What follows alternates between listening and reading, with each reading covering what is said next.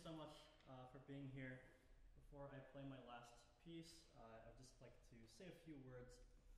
Um, I, I, first of all just want to uh, thank my family um, for for being here today. It, it, really means so much to me that you guys um, traveled from all across the country to be here.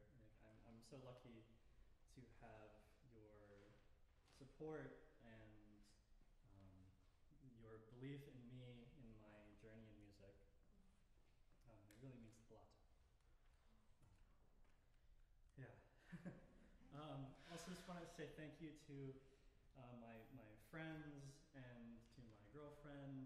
Uh, you guys have made what can be a very uh, stressful and challenging um, degree uh, it, it, so much easier. Just you know, I, I know I can always come to you with with problems, and you guys are, are always there for me when things are hard. So I really appreciate it.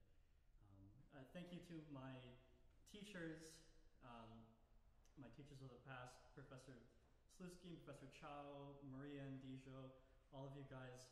Uh, I, I can't thank enough for uh, instilling in me the love for music that I have.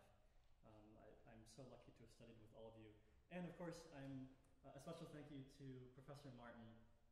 Um, it's been an amazing year and a half with you, and I've just I'm so thankful for your guidance and your patience with me and your continued commitment to my growth, and of course for helping me appreciate music even more than I already do.